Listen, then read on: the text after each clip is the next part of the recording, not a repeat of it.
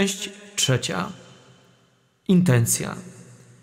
W tej ostatniej części będziemy rozważali, co Pan Jezus cierpiał od chwili ukoronowania, aż do ciężkiego skonania na krzyżu. Te bluźnierstwa, zelżywości i zniewagi, jakie mu wyrządzono, ofiarujemy za grzeszników zatwardziałych, aby Zbawiciel pobudził ich serca zbłąkane do pokuty i prawdziwej życia poprawy oraz za dusze w czyśćcu cierpiące, aby im litościwy Jezus krwią swoją świętą ogień zagasił. Prośmy nadto, by nam wyjednał na godzinę śmierci skruchę za grzechy i szczęśliwe w łasce Bożej wytrwanie.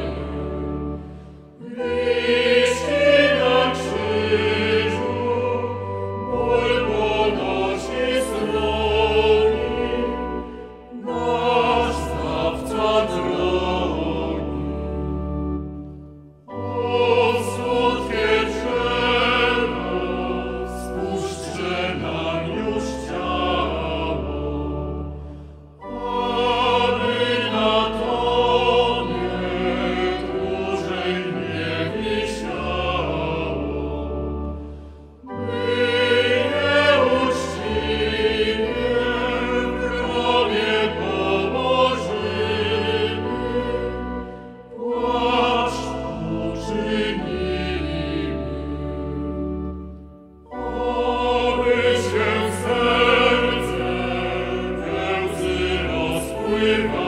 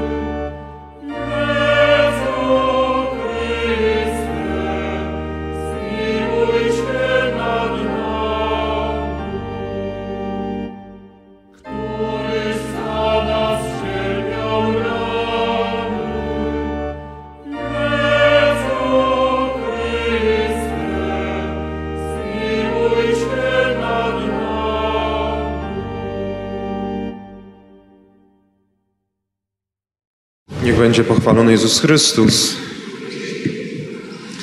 Rozważamy kolejne wydarzenia z tajemnicy męki, śmierci Chrystusa. Chcemy towarzyszyć Mu w Jego najważniejszych wydarzeniach w Jego życiu, w realizacji planu zbawienia całej ludzkości. Dzisiaj chciałbym, abyśmy pochylili się nad znaczeniem i nad obecnością uczniów Jezusa w całym procesie Jego męki, śmierci, a także zmartwychwstania. Na początku posłuchajmy fragmentu Ewangelii według świętego Łukasza i fragmentu Ewangelii według świętego Mateusza, żeby uchwycić dwa kontrasty, różne zachowania uczniów. Z Ewangelii według świętego Łukasza. Po pojmaniu uprowadzili go i zawiedli do domu arcykapłana, a Piotr szedł daleko z tyłu. Kiedy rozpalili ognisko na środku dziedzińca i usiedli wokół, usiadł i Piotr wśród nich. Gdy jakaś służąca zobaczyła go siedzącego w świetle, przypatrzyła mu się i powiedziała: Ten też był z nim. On jednak zaprzeczył, oświadczając: Nie znam go, kobieto. Po chwili ktoś inny zobaczył go i rzekł: Ty też jesteś z nich. A Piotr odpowiedział: Człowieku, nie jestem. Po upływie mniej więcej jednej godziny jeszcze ktoś inny stanowczo utrzymywał: Naprawdę i on był z nim, bo przecież także jest Galilejczykiem. Piotr odpowiedział: Człowieku, nie wiem o czym mówisz. I zaraz, gdy on jeszcze mówił, zapiał kogut. Wtedy Pan odwrócił się i spojrzał na Piotra. Piotr przypomniał sobie słowa Pana, któremu powiedział: Nim kogut dziś dokończy pienie, trzy razy się mnie wyprzesz. Wyszedł na zewnątrz i gorzko zapłakał. I teraz fragment z Ewangelii według świętego Mateusza. Wtedy Judasz, który go wydał, widząc, że został skazany, zaczął żałować. Chcąc oddać owe trzydzieści srebrników arcykapłanom i starszym, powiedział im: Zgrzeszyłem, bo wydałem krew niewinną. Oni na to rzekli: A cóż my, ty się martw o to. Odchodząc, rzucił te trzydzieści srebrników ku przybytkowi. Potem poszedł i powiesił się.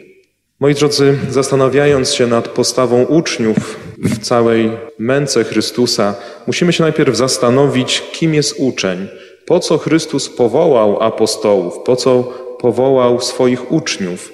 W Ewangelii Marka w scenie powołania znajdujemy wyjaśnienie.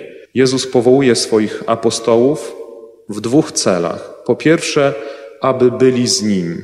To jest główny cel aby być z Jezusem. I dopiero później kolejnym celem było to, żeby głosili Ewangelię, uzdrawiali, dokonywali różnych znaków i tak dalej. Ale najpierw chodzi w życiu, w misji ucznia, żeby być z Jezusem. I w tych słowach, które Jezus kieruje do nich, pójdź za mną. Co to znaczy? Masz mnie naśladować, niejako wchodzić w moje ślady, mówić i iść tam, gdzie ja Cię poślę, gdzie ja Cię skieruję. Ale zobaczmy, jak się uczniowie zachowują właśnie w czasie męki Chrystusa. Usłyszeliśmy przed chwilą dwa różne zachowania apostołów. Najpierw wszyscy jeszcze w ogrójcu uciekają, zobaczyli całą kohortę żołnierzy i się przestraszyli, że oni również mogą zostać straceni, mogą również pójść na cierpienie. Uciekają, bo się boją. Zobaczmy postawę Judasza, który wydaje Chrystusa, zdradza go. Ten człowiek, uczeń, który był najbliżej Chrystusa, zostawia go, wydaje go na śmierć. I tutaj, moi drodzy, musimy zobaczyć właśnie ten kontrast, bo Piotr, ten, który obiecywał, że będzie bronił Chrystusa, robi coś podobnego. Zapiera się, tak jak słyszeliśmy, trzykrotnie się zapiera, bo również boi się o swoje życie. Ale ich losy są zupełnie inne. Judasz, chociaż wydaje na śmierć Jezusa, to jednak później idzie do tych arcykapłanów, nie boi się, żałuje za ten grzech i mówi, że wydałem krew niewinną, oddaję te trzydzieści srebrników. Tylko, moi drodzy, jest ta różnica, że Judasz poszedł do arcykapłanów. Oni go odrzucili z jego grzechem, z jego słabością i on popadł w rozpacz, poszedł i powiesił się. Nie miał nadziei, ufności w Boże miłosierdzie. Piotr robi gorszą rzecz, dlatego że zapiera się trzykrotnie Chrystusa w przynależności do apostołów, ale jest ta różnica, że Pan odwrócił się, Chrystus odwraca się i patrzy na Piotra. I Piotr przypomina sobie słowo Pana. Te dwie rzeczy. Wzrok miłości Jezusa na sobie i przypomnienie sobie słów Jego. I to sprawia, że wyszedł na zewnątrz i gorzko zapłakał, żałując za swoje grzechy, za to, że się wyparł Chrystusa. I to doprowadza go do nawrócenia, do właśnie zmiany myślenia, zmiany swojego postępowania. I moi drodzy, dlaczego do tego doszło? Przecież apostołowie tyle lat, przez trzy lata chodzili z Jezusem, byli z Nim nieustannie, non-stop praktycznie. Rozmawiali z Nim, wspólnie spożywali posiłki, widzieli znaki, cuda dokonywane przez Chrystusa. Moglibyśmy dzisiaj powiedzieć, że to jest cały proces formacji. Podobnie jak księża, zanim zostanie jakiś mężczyzna księdzem, to jest sześć lat przynajmniej formacji w seminarium, właśnie bycia z Jezusem, żeby później dopiero iść i głosić. I w tej formacji, czy czegoś zabrakło? Czy może to była po prostu próba, jaką musi przejść każdy uczeń Chrystusa? Ale kiedy czytamy Ewangelię, ten proces właśnie formacji uczniów przebiega w różny sposób. Pamiętamy tę scenę, kiedy do Jezusa przychodzi matka synów Zebedeusza i prosi Jezusa, żeby postawił jej synów po prawej i po lewej swej stronie w jego królestwie. Chce załatwić u Jezusa, szuka takiej, można powiedzieć, drogi kariery dla swoich synów. A Jezus im zapowiada cierpienie, zapowiada im właśnie kielich, który on sam również ma wypić. I do seminarium zgłosił się pewien chłopak, chcąc właśnie wstąpić na drogę powołania, wstąpić do seminarium. I przywiozła go mama, poszli razem do rektora i właśnie jedna z tych mam zachowywała się dokładnie jak ta matka synów Zebedeusza. Bo idąc po seminaryjnym korytarzu, idzie ksiądz rektor, idzie ta matka i ten syn, który chce wstąpić do seminarium. I ta matka do rektora mówi, księże rektorze, mój syn jest taki bardzo zdolny, ma tyle talentów, proszę go tam jakoś dobrze traktować, może mu coś już powierzyć, bo się do tego nadaje, może zrobi kiedyś właśnie karierę w kościele, bo jest taki zdolny. I ten ksiądz popatrzył na tą matkę, uśmiechnął się, wskazał ręką na krzyż i mówi: Mogę mu obiecać taką karierę, taką jak Chrystus, ukrzyżowanie. I droga ucznia, moi drodzy, to jest właśnie nieustanne kroczenie za Jezusem na Golgotę, nieustanne zapieranie samego siebie, nieustanne dźwiganie każdego dnia swojego krzyża. Ale my jako uczniowie Chrystusa, zresztą apostołowie, wzdrygamy się przed tym, nie chcemy tego. Zresztą, kiedy czytamy dalej Ewangelię, Jezus trzykrotnie zapowiada swoją mękę, śmierć i zmartwychwstanie. Co robi wtedy Piotr? Panie, nigdy to na ciebie nie przyjdzie, nie będzie żadnego cierpienia, absolutnie. Jezus, jak go wtedy bardzo mocno karci, zejdź mi z oczu, szatanie, idź za mnie, dosłownie idź za mnie. To znaczy właśnie, ty nie będziesz mówił, co ja mam robić, bo ty jesteś uczniem, ty masz naśladować mnie, masz iść za mną.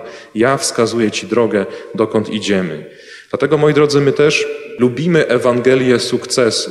Lubimy tą Ewangelię do Wielkiego Czwartku, kiedy Chrystus przychodzi, dokonuje cudów, uzdrawia, ucisza burzę, wskrzesza, leczy wszystkie choroby, kiedy tłumy garną się do Jezusa, kiedy Jezus jest popularny, Wtedy jest fajnie, jest miło i przyjemnie. I my tego Jezusa takiego lubimy. Chcemy też, żeby i tak w naszym życiu było, żeby ta Ewangelia sukcesu tylko wypełniała się w naszej codzienności. Ale Jezus mówi nie. Idziemy do Jerozolimy. Tam będzie krzyż, męka i cierpienie. I co ja wtedy robię? Czy mówię tak jak Piotr, Panie, nigdy, nigdy to na mnie i na Ciebie nie przyjdzie. I dlatego Moi drodzy, musimy być świadomi tego, że kroczenie za Jezusem to jest droga właśnie na Golgotę. I musimy się zapytać, jakim ja jestem uczniem.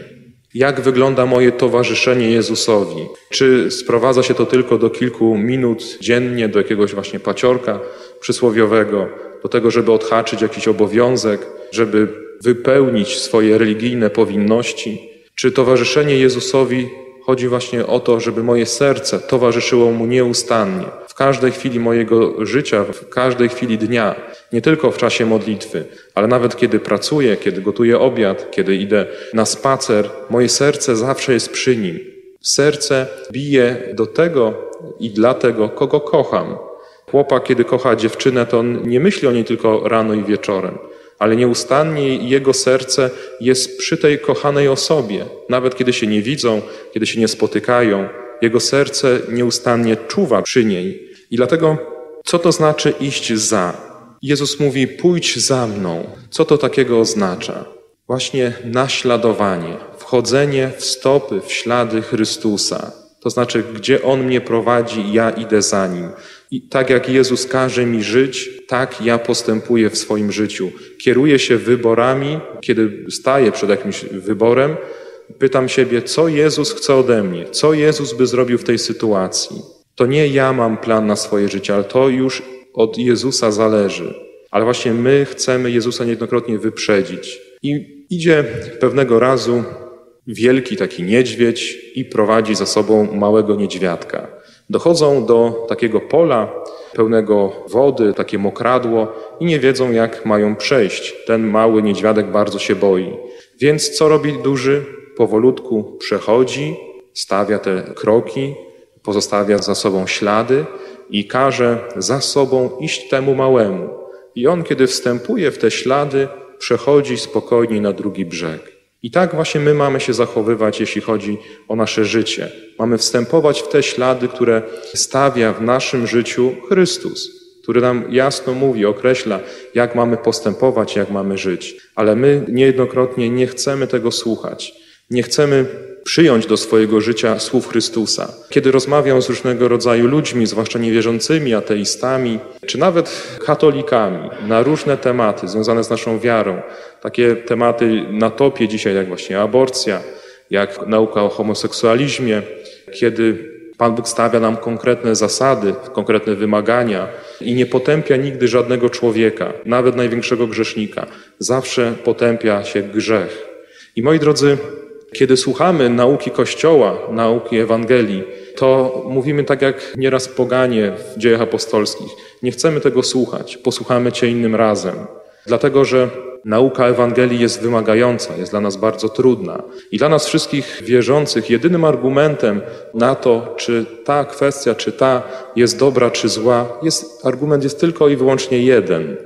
Bo tak powiedział Bóg. Tyle. I dyskusja się kończy.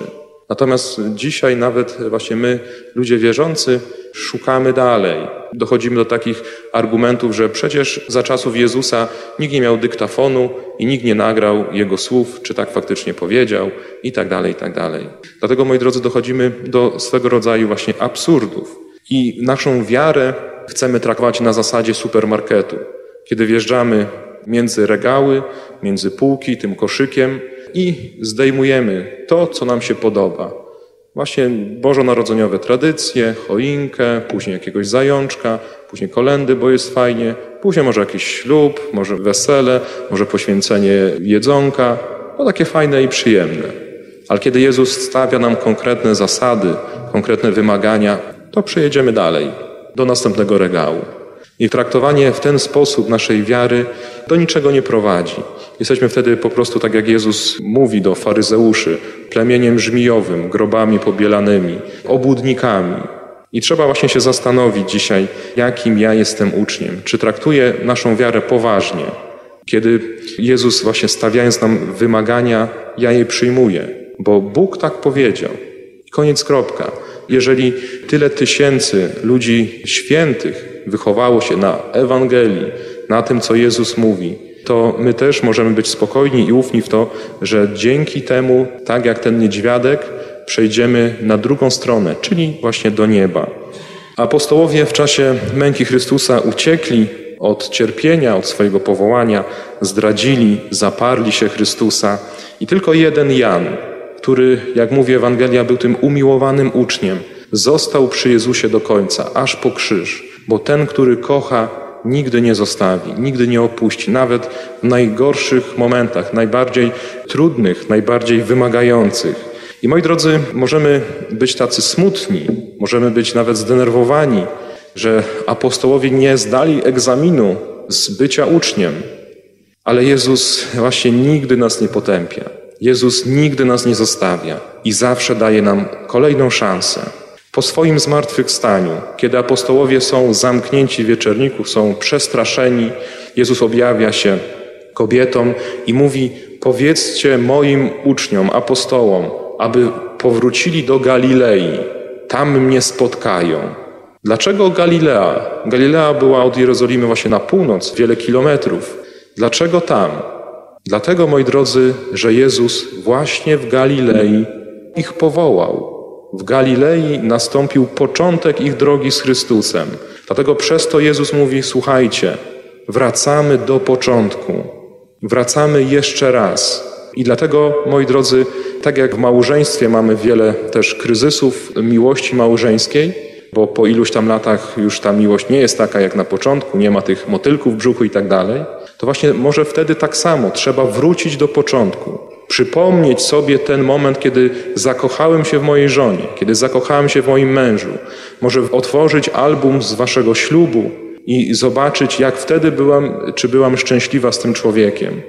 I tak samo my musimy nieustannie wracać po grzechu do tego momentu, kiedy Boga spotkałem, kiedy po raz pierwszy się w Nim zakochałem, kiedy to było takie piękne i świeże i takie po prostu piękne. Dlatego, moi drodzy, nigdy dla nas nie ma zmarnowanego życia, zmarnowanej sytuacji. Jezus mówi: Jeżeli się mnie zaparłeś, jeżeli się mnie wyrzekłeś, to nie idź do arcykapłanów, nie idź do tych osób, które cię tylko wyśmieją i cię potępią, ale wróć do mnie, do Galilei.